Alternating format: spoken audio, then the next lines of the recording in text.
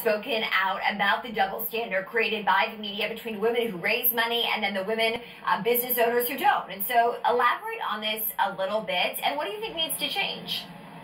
Yeah, it, I, I, hate saying it drives me a little bit crazy. Uh, there are more than 1,800 new businesses started by women per day. And that was pre COVID. But I doubt that's going to go down because you have so many women that are looking for flexibility. That is provided when you're an entrepreneur.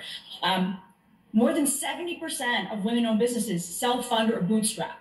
So when the media chooses to really cover only those that raise, that's a success measure right? What about the thousands upon thousands that haven't done that? And so what we're really trying to do is make sure we're telling all stories, right?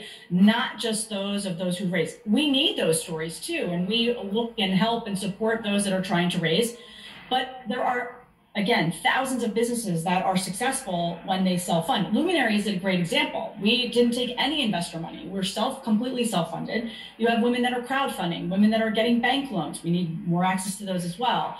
But let's look at it holistically and talk about women-owned businesses in a very different way and not say one is successful versus the other. I think that defeats the entire purpose of propping and pushing women up as we are trying to build empires.